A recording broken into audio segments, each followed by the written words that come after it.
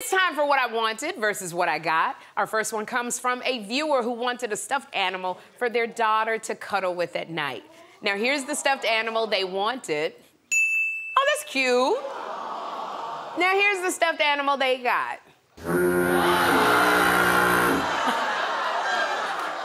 Okay, wait a minute. Forget cuddling. That toy looks like it would give your child nightmares. Man.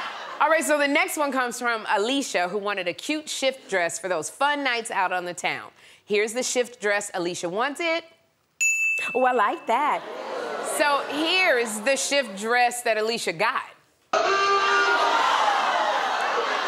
Oh. Okay, now that is a shift dress, all right, because Alicia's boob is shifted right out of it.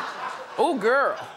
Now, the next one comes from a viewer who wanted candy cane themed nail art. Here are the stripes that she wanted.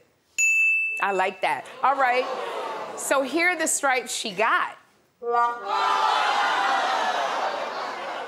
Okay, here, the only stripes we should be seeing are the stripes on the prisoner uniform your nail tech needs to be wearing.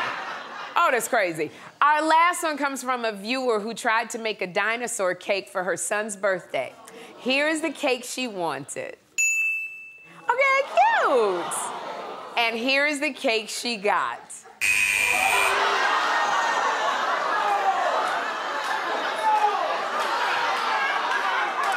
Okay, I don't know what in the X-rated birthday party is going on here, but this looks more like a cake for a bachelorette party. Um, that's kind of nasty.